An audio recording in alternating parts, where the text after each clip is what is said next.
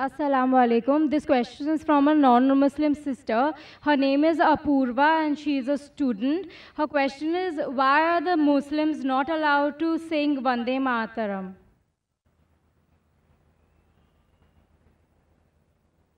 The sister asked the question that why are Muslims not allowed to say Vande Mataram?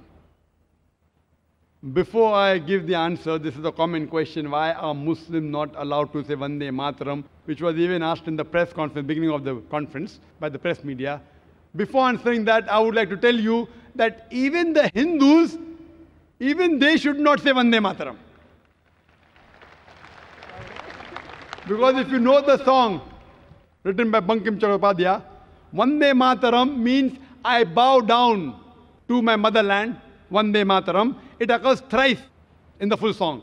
And as I mentioned earlier, according to the Veda, it's clearly mentioned in Yajurved, chapter number 32, verse number 3, and Svetasvatara Upanishad, chapter number 4, verse number 19, Na tasya pratima asti. Of that God, there is no pratima, there is no image, there is no photograph, there is no picture, there is no portrait, there is no sculpture, there is no idol.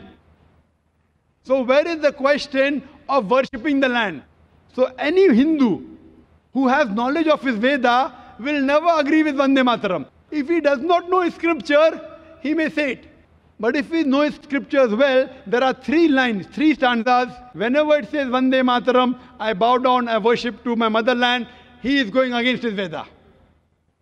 As far as the Muslims are concerned, there are 12 lines which are against the Quran and the Sahih Hadith. Thrice it says that I bow down to my motherland, which is prohibited. In Islam, we only bow to our Creator Allah subhanahu wa ta'ala. We Muslims, as long as the law of the land does not go against the law of the Creator, we are for the country.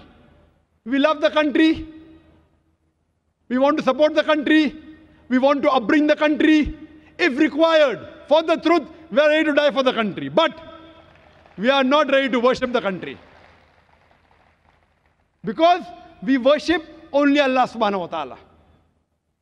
He alone requires to be worshipped. And this land, who's the creator of this land? Allah, Almighty God. So why should we worship the creation? Worship the creator, not the creation. And furthermore, there are stanzas in Vande Mataram talking about divine, giving attributes, talking about Lakshmi, talking about Durga. All these things, they go against the concept of the Quran. That's the reason. And if you go back to history, this became a political issue just a couple of years back. You know, it was written in 1860s or 70s by Bankim Chattopadhyay. It was more of a political motive. And today they want to make a political gimmick, not realizing it is going against their own religion.